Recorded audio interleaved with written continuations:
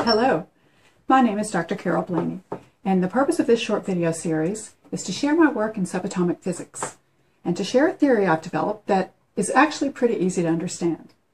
It could be called a unification theory because it bridges the forces of the very large to the extremely small. And it could ultimately help us on our path to obtain cheaper, greener energy from our most abundant resource, matter, or from another lesser discussed abundant resource, the zero point energy field, which is the energy field of vacuum of free space. You can read about it and how we know it's there and so forth in some of the more prominent physics journals. As a PhD chemical engineer, my strategy to solving the energy crisis is as follows. Find the weakest link in the science of extracting energy out of matter and strengthen that weakest link. I believe that the weakest link is our lack of understanding of what E equals mc squared really means. E equals mc squared says that the most light energy that you can get out of mass is just mass times the speed of light squared. But how does mass energy become light energy? What is it about mass that it can even become light? Until we understand that, we aren't going to be able to extract clean energy with no radioactive waste, that is, out of matter. Well, so a few years ago, I set about to understand what light was such that it, it could become mass and what mass was such that it could become light. The first question I asked was the obvious. How can light, which travels in a straight line, become a chunk of mass or matter that sits still and is difficult to move and so forth, has inertia? What is it about mass such that it can become light? One day while taking a walk in nature, a possible solution popped into my head. Could a stationary mass particle actually be a photon of light that's somehow just trapped in a tiny volume? A circle so tiny or a sphere so tiny that it seems like a point? Maybe to us it just looks like mass? But maybe it's actually still light, but just somehow condensed or trapped into a tiny volume or circle too small to even imagine. Well, I rushed to calculate the diameter of this light ring, as I called it, this, this light photon held into a circular path. I figured its own gravity could hold it into its circular path, and that's the diameter I tried to calculate. Its own gravity. Well, I calculated that from its energy, E equals h nu, h being the Planck's constant, and nu being the frequency of that photon. My calculated radius was just what I'd imagined. It was on the order of Planck's length, meaning that it is as small or smaller than anything we humans can ever hope to imagine to uh, measure with our current instruments. So is mass just light traveling in tiny volume? Herein was my journey's beginning. And since then, I've developed a theory for the zero point field, a theory for what a photon is, and a theory for what matter is. In a nutshell, my work continues where Albert Einstein left off with his general theory of relativity and E equals mc squared.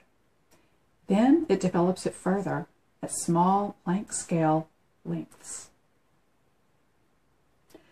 Now, my graduate courses in fluid dynamics helped me to visualize fluid flowing in three-dimensional space fairly easily.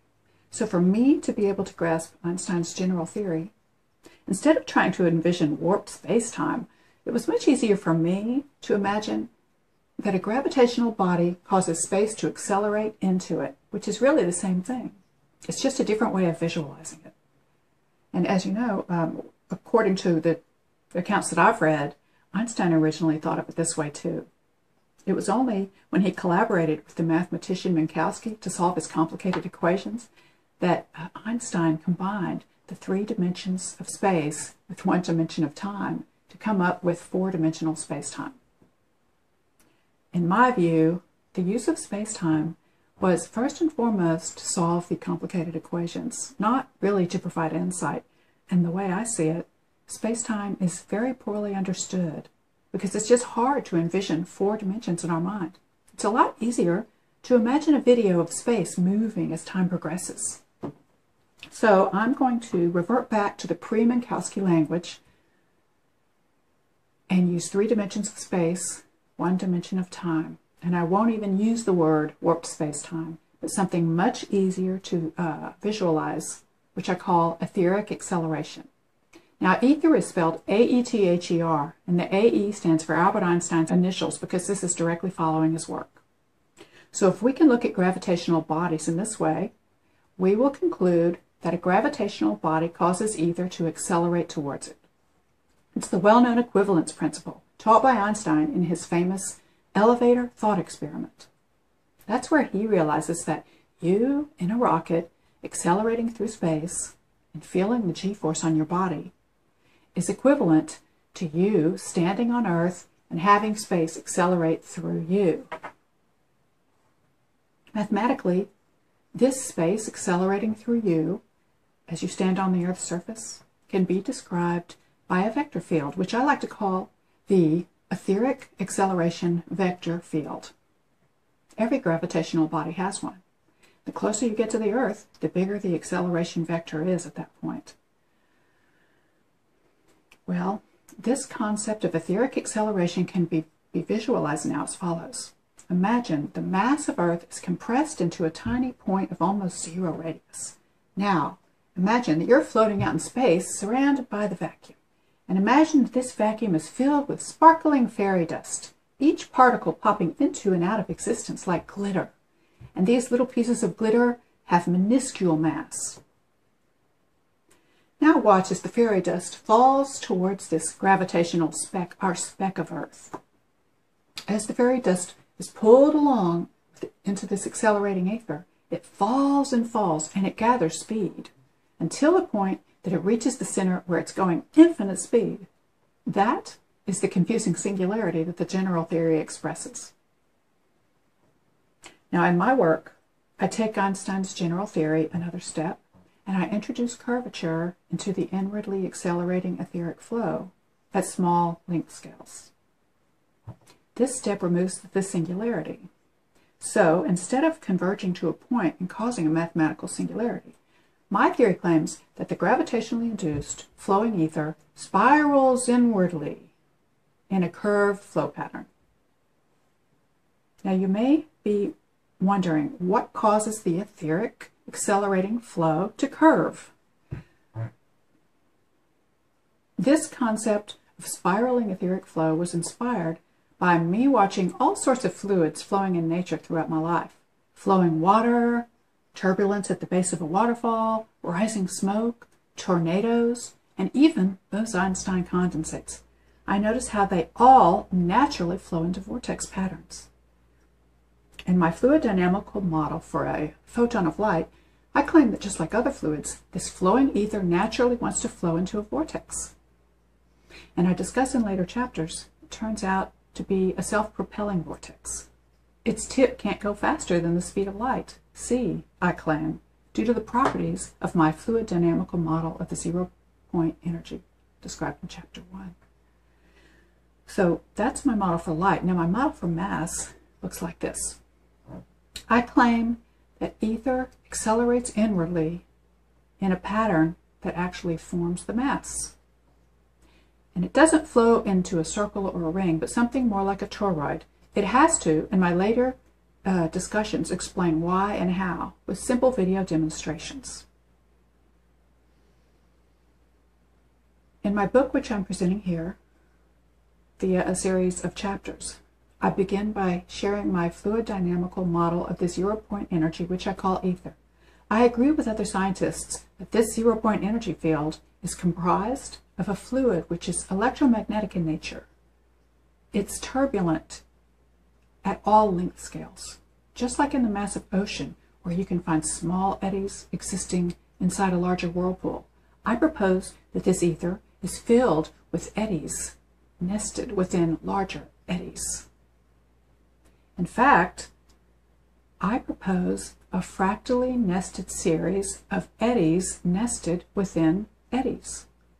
Each one of these eddies gives rise to a local etheric acceleration vector field, along with a second vector field describing the local rotational flow of the fluid, or the curl. Next, I have a model for light which is formed when this ether flows into a stable vortex flow pattern. As I mentioned before, the turbulence of the ether, according to my model, prevents it from exceeding a certain velocity, velocity which we measure as the speed of light. Third, I present a model for mass. By condensing the light photon's vortex flow pattern into a ring structure, I propose you get mass. In particular, I propose that an electron is a mass particle that is an accelerating etheric flow pattern shaped like a toroid which I demonstrate qualitatively has the properties of charge repulsion and attraction, all from the perspectives of fluid dynamics. Now you may ask, how would one condense light into mass? Isn't light happy enough going in a straight line? What would make it condense into a ring form? Well, have you ever seen the intelligent dolphins form bubble rings? First, the dolphin blows an air-filled vortex in the water with its snout. Next, it uses its snout or nose to bend the vortex into a circle. As soon as the tip of the vortex touches another place along the backbone of the vortex, it forms a semi-stable bubble ring. Similarly, I envision this vortex of light being bent or distorted just right. Say in a supernova explosion, when collisions with nearby entities cause it to bend. Then its tip comes close enough to its own tail so that they attract. In fact, the tip and the tail merge to form a new etheric flow pattern, which is that of, overall, a rotating toroid. This is because the tip of the vortex, with its strong, inwardly rotating, inwardly accelerating ether, gravitationally attracts its own tail. That's why I like to call it a light ring. I calculated its diameter to be on the order of Planck's length, and the math also predicts that it is made of a high energy gamma ray. The charge of the electron arises, I claim, from the curl of the etheric acceleration vector field.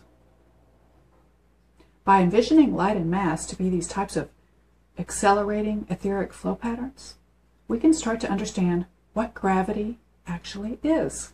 Etheric acceleration and how gravity can flow into curved patterns which form massive objects which have inertia and charge. It turns out that a universe with this type of ether, this type of light, mass, gravity, and charge, and so forth, has to be a universe that expands at an accelerating rate, as modern telescopes observe. My model also addresses the questions, what is dark matter? And what is dark energy? I propose that what we observe and label as dark matter near galaxies is caused by the inwardly accelerating ether that flows into the zero point field's energy fluctuations, as described in my fluid dynamical model for the ether. I then ask the question, is dark matter more abundant in the vicinity of galaxies as we measure due to the extra turbulence of the ether there compared, say, to the more placid regions of space between galaxies where the zero-point energies would be expected to be less. I also offer a possible explanation for dark energy. Might it be caused by an equal and opposite outward flow of etheric acceleration to balance the inward flow of etheric acceleration that flows into mass, light, and most importantly, into the ether with its dark matter, and which I claim is a requirement of the basic laws of thermodynamics. In my theory, I also offer possible fluid dynamical explanations for the strong and weak nuclear forces. I consider whether certain physical forces can be predicted by the curls of the fractally nested etheric flow patterns, averaged over different length scales. If this average curl of the etheric vector field of one entity is in the opposite flow direction to the curl of the etheric vector field of another entity, they will repel. But if the curls of the bodies point in the same direction, they will attract. I explain the reasoning behind my claims in later chapters, again using fluid dynamical considerations. So to summarize my theory, the vacuum of free space or the zero-point field, forms a turbulent fluid which I propose a model for and call ether. It flows like a very low viscosity fluid with a viscosity too low to even imagine. And its nested flow patterns make up everything in the universe. Light. I propose a photon of light is formed when this ether flows into a tiny stable vortex of a particular length scale. Next, I propose a model for mass as follows. Under the right conditions, I claim that this stable vortex of ether, this light photon I just mentioned, can be condensed into a stable toroidal etheric flow pattern, which I like to call a light ring. It has the properties of mass and charge. I also propose, as many have in the past, that gravity is in fact etheric acceleration. I discuss how the etheric acceleration vector field and its curl vector field can qualitatively explain not only charge, but the strong and weak nuclear forces. My theory, based on etheric flow, appears to me to have the potential to explain the four physical forces with one unified view, and thus bridge the very large to the very small. I envision that this is what a unification theory should look like, and I would love to hear your comments. I look forward to exchanging ideas on this topic so that we can come to a better understanding of what light and matter really are, and that will ultimately help us figure out how to get clean, safe, and sustainable energy for, for humanity, whether it's applied to nuclear fusion or to other mass to light energy generators. Thank you.